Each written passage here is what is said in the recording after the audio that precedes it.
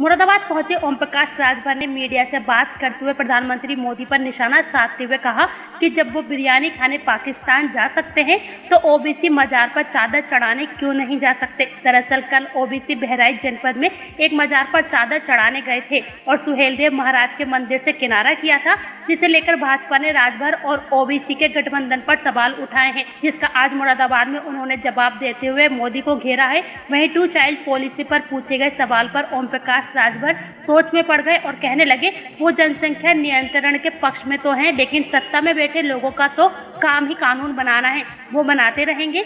दरअसल ओम प्रकाश राजभर एक दिन के दौरे पर मुरादाबाद आए हुए हैं और अपने कार्यकर्ताओं से मीटिंग करने के बाद मीडिया के सवालों का जवाब देते हुए उन्होंने संघ प्रमुख मोहन भागवत सहित भाजपा को आड़े हाथों लेते हुए हमला बोला है।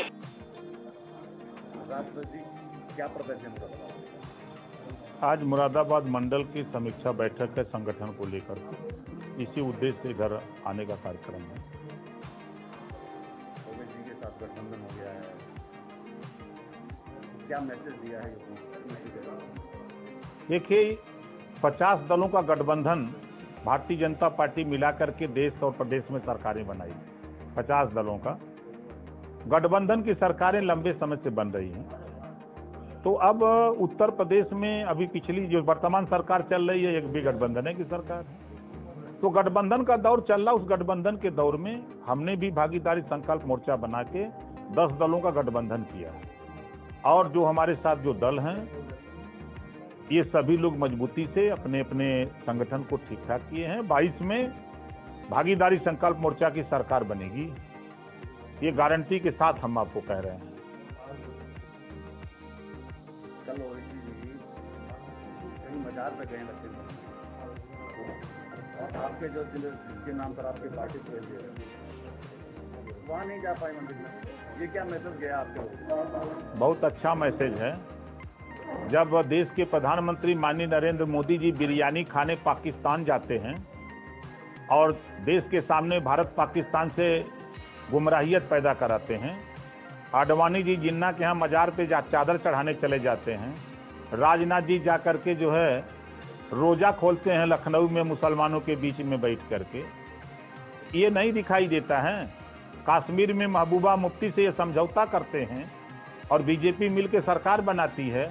अभी नागालैंड में वहाँ एक मुस्लिम पार्टी समझौता करके सरकार बनाने की कवायद में लगे हैं। ये करें तो रासलीला, हम करें तो करेक्टर ढीला। अभी यूपी गवर्नमेंट ने उन लोगों के नाम पर थोड़ा रखने का है जो मत रोजा मतलब उसमें जो बाबरी मस्जिद वाला जो प्रकरण था, जो वहाँ उनको शहीद का दर्जा देकर के उनके नाम पर सड़क बनाई जा रही है। कार सेवकों का नाम कर क्या देखते हैं आप? क्या कहते हैं? देखिए, इनके पास कोई मुद्दा है नहीं। आज ये बेरोजगारी पे बात करने लायक नहीं रह गई है भाजपा। आज महँगाई पे बात करने लायक नहीं रह गई है भाजपा। आज बेरोजगारी पे बात करने लायक भाजपा नहीं रह गई है। लाइन आर्डर पे बात करने के लायक नहीं रह गई भाजपा। तो ये जनता का ध्यान भटकाने के लिए ये इसी तरह के सगुफा खाली छोड़ते हैं। कुछ करने वाले थोड़े हैं। की आइडियोलॉजी में और सुहेल देव की आइडियोलॉजी में बहुत अंतर है। कोई अंतर नहीं है। जो आज लोकतंत्र में हो रहा है वही उस समय हो रहा था। उस समय एक राजा का राजपाट छीना जा रहा था तलवार के दम पर।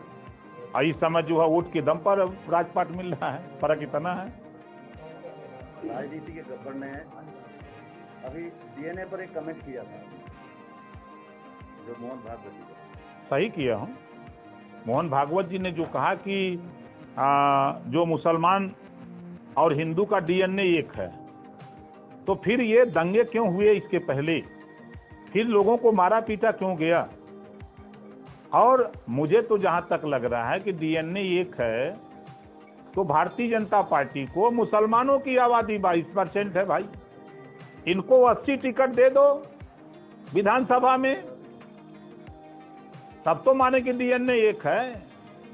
ये खाली ध्यान भटकाने के लिए बयान दे रहे हैं। डीएनए एक होने का भी जो उन्होंने प्रमाण प्रस्तुत किया बहुत सही कहा है। हम तो उसको मानते हैं। शहनवाज हुसैन मुख्तार अब्बास नकवी गवाह हैं प्रवीण तोगड़िया गवाह हैं आपके मुरली मनोहर जोशी गवाह हैं आडवाणी गवाह हैं। इन लोगों की भतीजी इन लोगों की बेटियाँ जो है मुसलमानों के यहाँ शादी हुई है तो वहाँ तो डीएनए मिल ही रहा है। अब कहाँ गड़बड़ है डीएनए? क्या आपका गठबंधन टू चाइल्ड पॉलिसी का समर्थन करता है? अभी जो केंद्र सरकार भी रही है और आसाम में चल रहा है। किस तरह देखते हैं टू चाइल्ड पॉलिसी देखिए हम मानते हैं जनसंख्या नियंत्रण कानून। हम भी उसके स्वीकार हैं, लेकिन सत्ता में बैठे हुए ऊपर से नीचे तक हैं। ये लोग जो कानून बनाने वाले लोग हैं, ये तो कानून बनैबे करेंगे। जाके पैर फटे बेवाई सो ही जाने पीर पर आई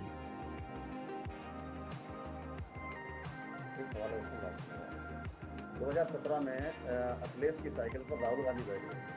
आपका भी गठबंधन हुआ ओवैसी कहाँ तक चलेगा? मंजिल तक। क्या मंजिल है? दिल्ली तक।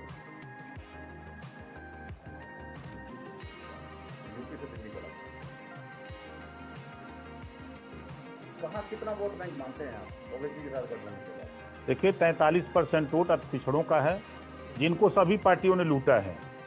1700 थाने हैं 826 ब्लॉक है, पचहत्तर ज़िले हैं 18 कमिश्नरी है। जब हिस्सेदारी देने की बात आती है तो सारी पार्टियाँ भाग खड़ी होती हैं। इनको हिस्सेदारी नहीं देती हैं। और वोट लेना होता है फिर इन्हीं के बीच में आ जाती हैं। तो यह तैंतालीस परसेंट पिछड़ा है और बाईस परसेंट मुसलमान। सौ में पैंसठ तो सौ में पैंसठ हमारा है और पैंतीस में भी बंटवारा है।